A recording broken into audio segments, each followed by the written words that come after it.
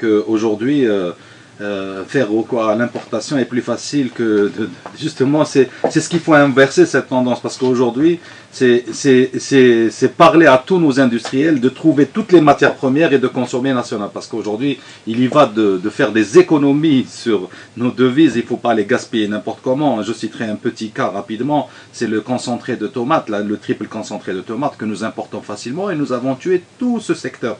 C'est aujourd'hui qu'il revient il faudrait encore l'encourager parce qu'aujourd'hui la tomate algérienne était la première qualité mondiale et aussi la plus, la plus grande production mondiale.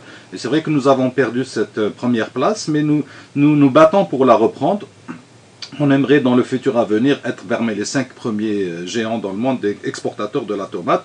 On a les moyens. Le sud est regorge de soleil et d'eau. Et aujourd'hui, il y a quelques industries qui se sont installées avec toute la région de, de, Skikda et de Annaba qui ont repris euh, cette industrie qui, était euh, à l'époque notre fleuron et notre fierté.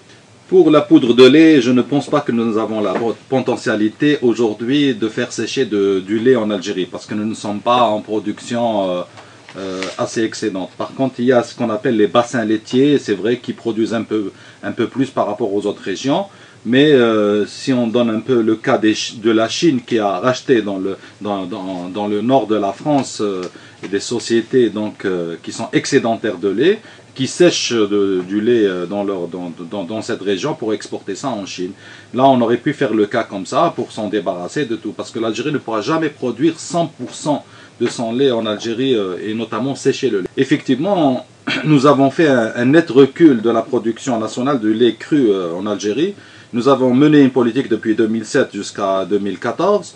Il y a eu un échec parce qu'il n'y a pas eu de suivi justement de, nos autorités par rapport à, toutes les politiques que nous avons conseillées pour produire plus. Effectivement, on a apporté des subventions, etc., pour aider tous les secteurs, qu'ils soient les collecteurs, les producteurs de lait, euh, les éleveurs eux-mêmes.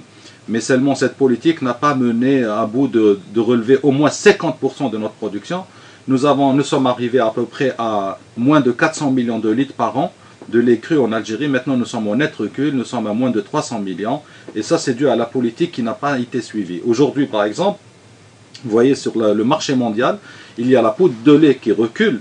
Euh, auparavant, elle coûtait 5-6 000 dollars la tonne. Aujourd'hui, elle coûte moins de 3 000 dollars. Donc, on parlait tout à l'heure, c'est normal que les industriels ont ont un recours d'importer facilement de la poudre de lait parce qu'aujourd'hui elle a, elle a reculé sur le marché mondial, donc ils achètent de la poudre de lait et ils oublient que le lait de vache est là sur place et subventionné par l'État, mais l'industrie ne veut plus collecter parce qu'il y a énormément de problèmes autour de ce lait.